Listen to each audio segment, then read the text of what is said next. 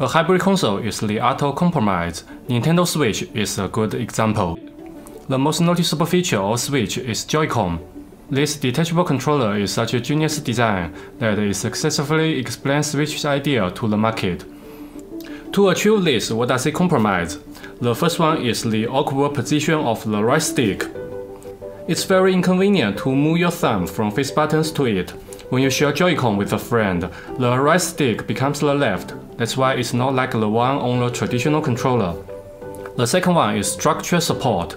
Every time I hold Switch by Joy-Cons, I'm afraid I may break the slider rails because of the unstable connection. So I try to support Switch body with my fingers like this. But trust me, it's very uncomfortable. That's why the moment I saw Hori's new split pad, I knew that it's the right product for gamers like me. It's a good upgrade for Switch, a good replacement for Joy-Con. First of all, the pad is slightly bigger than Joy-Con, but it's not too big, so the whole console is still portable and can stand on its own. Secondly, it's not too small. When you hold it, it fits right into your palm. Thirdly, the right stick is in the right place, so now it's easier to move your thumb from face buttons to the right stick.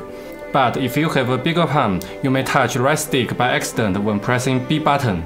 Also, D-pad is back and is very responsive. I'd rather have this than the original split buttons. However, the best feature to me is this knob. Many people don't know why Hori made it. In fact, it does provide extra support. I can hold Switch safely even by single hand without any worry. Okay, before you get too excited, let's talk about downsides. Of course, it's not perfect. Overall, it's cheap feeling. I don't know why Hori chose this kind of plastic. This product could be much better if it uses the same with Joy-Con. I like its face buttons. They are very similar to Switch Lite's face buttons, but these shoulder buttons and trigger buttons are too soft. I think they should be a little clicky. The biggest issue with SplitPad is that you can only map these two function buttons to the buttons on the same side. For example, you cannot map this left function button to any of the face buttons. It's because these two pads don't have wireless features, they cannot communicate with each other.